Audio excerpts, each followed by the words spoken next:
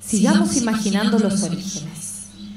Pensemos en la primera cepa que llegó y creció en Mendoza hace muchos siglos. El sol bañando la tierra pacientemente y haciendo crecer el fruto del vino que asomó despacio y por primera vez encontró su lugar en esta tierra.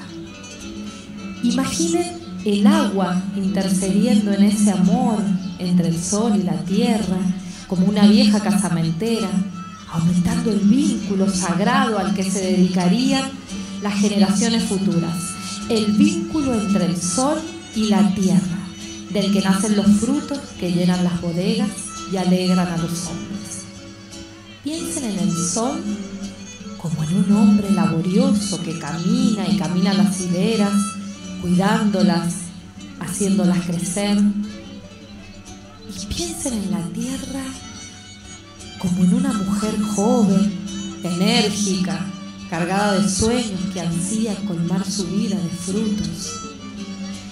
Y piensen en el sol y la tierra como en un hombre y una mujer que se encuentran entre las hileras y en quienes de inmediato nace el amor.